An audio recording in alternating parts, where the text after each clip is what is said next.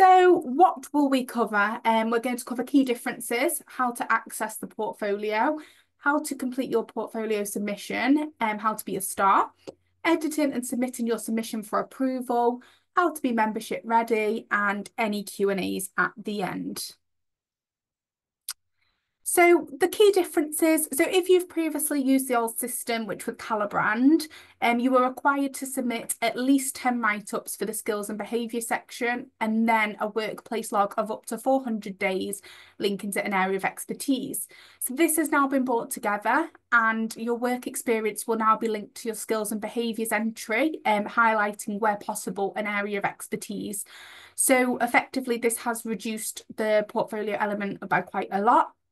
Um, we are also using forms and SharePoint. Um, so this means yourself and your line manager will no longer need to wait for login details or password resets, and your line manager will no longer need to register for a MyCIPFA account as well. So previously, um, where you'd go in and highlight your line manager and your MyCIPFA account, and then you both had to wait up to four weeks to receive portfolio login details. That's not the case anymore. And um, you can basically both start straight away. Also, for each submission, you will create a new form and you will continue to do this until you've reached the 400 days. And a new, um, another key difference is that evidence uploads are no longer required. Um, so in the previous system, you had to include a couple of pieces of evidence per submission. That's no longer required. You now do not need to include any evidence. However, our assessors do reserve the right to request this upon reviewing your portfolio submission.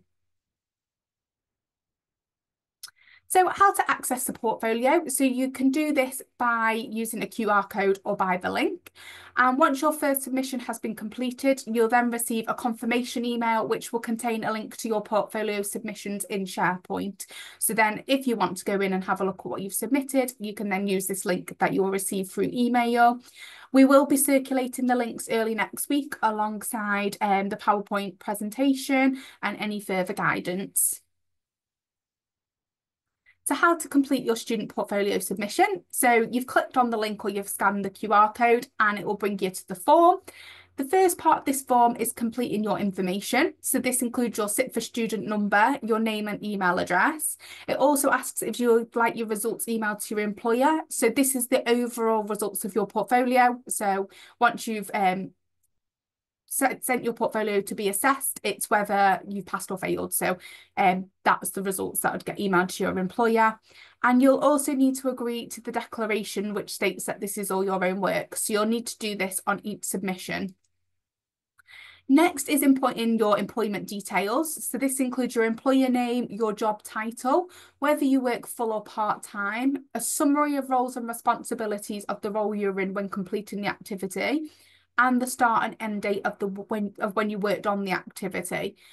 If, for example, you started working on an activity in January and finished this in May, but say you spent an overall of 30 days on this, you can go in and amend this in the SharePoint site to say, so for example, you've done it over a couple of months, but you've only done, say, 30 days on it, you can then amend this on the SharePoint site so it'll update your um, work log correctly.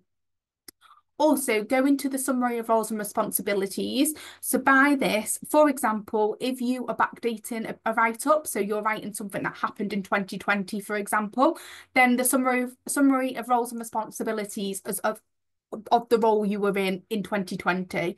So you can backdate um, all your write-ups for up to 10 years, but your current line manager needs to be happy to sign it off. So this part will just need to include your line manager's details, so their name, job title, employer name and email address. And we ask that they use their work email address so they have the same email suffix as yourself. You'll also need to highlight whether they're an accountant. If you say yes, a second pop a pop-up box will appear, just asking for their accountancy body name. If you say no, you can just carry on with the form. Okay, so this is the part now where you'll be completing your skills and behaviours as well as your workplace experience. So for each task you are writing about, you can choose as many skills and behaviours that it links to. You are then required to write about this using the STAR method, linking it to a technical competency. By the time you're ready to submit, you will have needed to have covered every skill and behaviour. However, there is no requirement to cover all of the technical competencies. We just ask that you cover as many as you can. If you have a 200 day exemption of work experience, so that's if you've completed the full AAT qualification and a, a full and current member of AAT still, you will show this by clicking the record of prior achievement portfolio box, which is just here on the screen. So different to the Calibrand system, whereas previously you had to submit um, evidence per skill and per behaviour. You can now have your write up and tick as many as it includes. However, we do ask for a, a, few submissions, maybe at least four or five submissions. So you don't just do one submission and tick all the skills and behaviours. We do need to see a variety in there.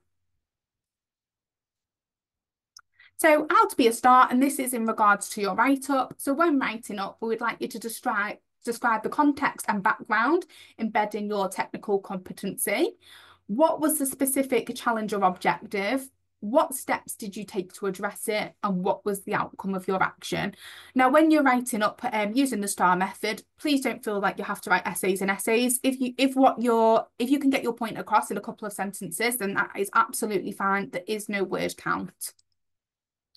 And then some do's and don'ts, we say do create clear and full responses. Do ensure that you are writing I or my most of the time and not we, are our, or the organisation employer.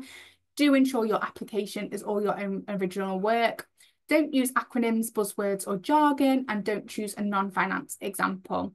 So we say, imagine the assessor as a well-informed reader, an experienced finance professional, but who has no knowledge of you, your role, or your employer, its structure and ways of working. So if, for example, there's any company jargon, um, the assessors might not know what that means. So please be clear uh, when you're in your write-ups what you're what you're saying and things you need to know. So you cannot save and come back to a portfolio submission unless it's been submitted. So you can't complete a form halfway and then exit out of it and come back into it. You do have to complete the full form and submit it.